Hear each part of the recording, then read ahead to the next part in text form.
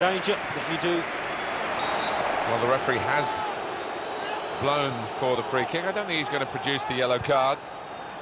Rafael Varane. Benzema. Stopped emphatically and just as well. The approach play looked very encouraging. Carrick on the ball. Here's Martial. Rashford. Spotted that well and intercepted. This could be it. Bale!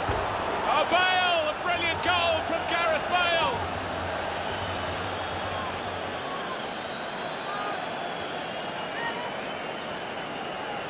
Well, it got a bit of help from the inside of the post, but in it goes. Well, that can be truly described as unstoppable when it goes in off the inside like that.